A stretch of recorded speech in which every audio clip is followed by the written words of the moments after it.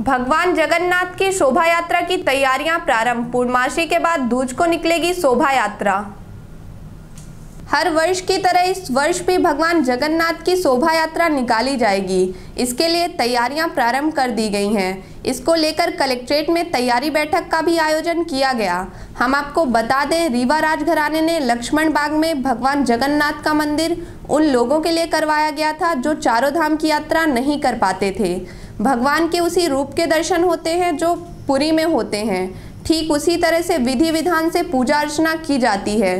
शोभा यात्रा में महाराज स्वयं शामिल होते हैं। शोभा यात्रा लक्ष्मण बाग से प्रारंभ होकर किला पहुँचती है।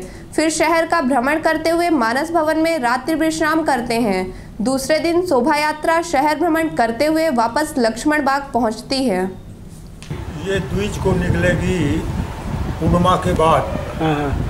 पूर्णिमा के बाद बीज को निकलेगी और उसमें पंद्रह दिन पहले भगवान सीख हो जाते हैं हाँ। और सीख के बाद उनका उपचार होता है हाँ। उपचार के बाद महास्नान स्नान के बाद श्रृंगार श्रृंगार के बाद दूज को रवाना हो जाते हैं